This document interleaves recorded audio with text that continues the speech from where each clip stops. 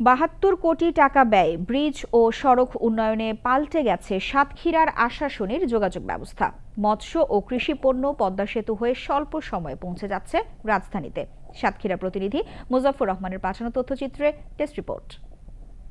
ঘূর্ণিঝড় cedar, Aila, hurricane Fani ও ইয়াস সহ নানান প্রাকৃতিক দুর্যোগে ক্ষতিগ্রস্ত সুন্দরবন উপকূলীয় উপজেলা আশাশুনি। নাজুক যোগাযোগ ব্যবস্থার কারণে উপজেলা শহর থেকে জেলা শহরের মাত্র ত্রিশ কিলোমিটার রাস্তা যাতায়াতে সময় লেগে যেত কয়েক ঘণ্টা। ফলে ব্যাহত হতো এখানকার বারো ইউনিয়নের উৎপাদিত কৃষি পণ্য ও মৎস্য পরিবহন ব্যবস্থা। আর এর সমস্যা নিরসনে আঠারো কোটি টাকা ব্যয়ে বারো কিলোমিটার সড়ক প্রশস্ত সহ সংস্কারের কাজ করছে জেলা সড়ক ও জনপথ বিভাগ। ইতিমধ্যে দুটি সড়ক কমপ্লিট হয়ে গেছে এবং যান চলাচল করছে এবং বাকিটি আমরা আশা করি আগামী পনেরো দিনের ভিতরে হান্ড্রেড পার্সেন্ট কাজ সম্পূর্ণ হবে। খুলনার যাতায়াত সহস্তর হবে এবং একটা বিকল্প সড়ক হিসেবে কাজ করবে।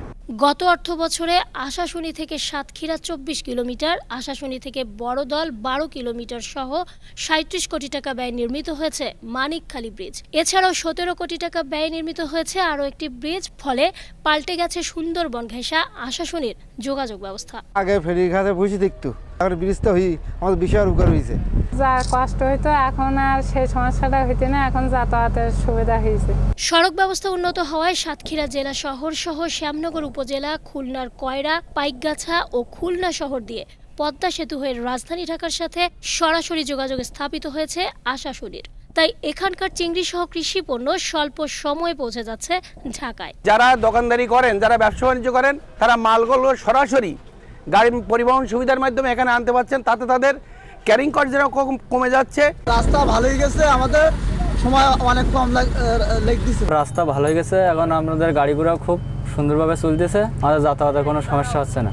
সংশ্লিষ্টরা বলছেন, সড়ক সংস্কার ও প্রশস্ত করায় এ অঞ্চলের মানুষের যাতায়াত ভোগান্তি যেমন নিরসন হয়েছে, তেমনি সম্প্রসারিত হয়েছে অর্থনৈতিক অবস্থা।